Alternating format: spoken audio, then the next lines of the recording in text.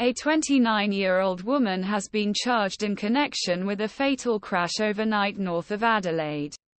Key points pedestrian killed in overnight crash north of Adelaide A pedestrian has in an overnight crash north of Adelaide Police say a 32-year-old man was found seriously injured on the road police said 32-year-old man was found seriously injured on the road. A criminal complaint was filed against driver, who is alleged to be a 29-year-old woman. Emergency services were called to Johnston Road in Elizabeth Downs at 1 a.m. following reports of a collision.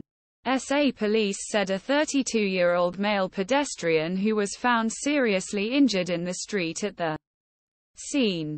Police said the driver left the scene before emergency services arrived and then went to Elizabeth police station.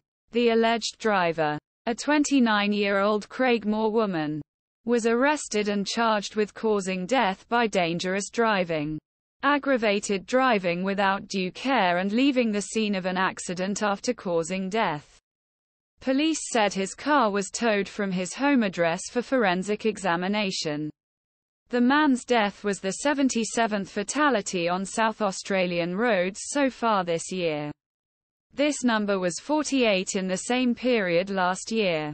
A 28-year-old pedestrian in hospital on Monday. A day after being struck by a car in South Australia's Murraylands.